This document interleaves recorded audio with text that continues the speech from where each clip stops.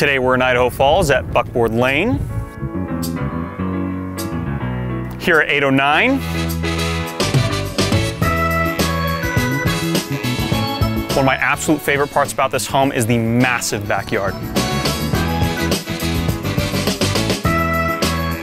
For the full video tour, click the link below and check it out.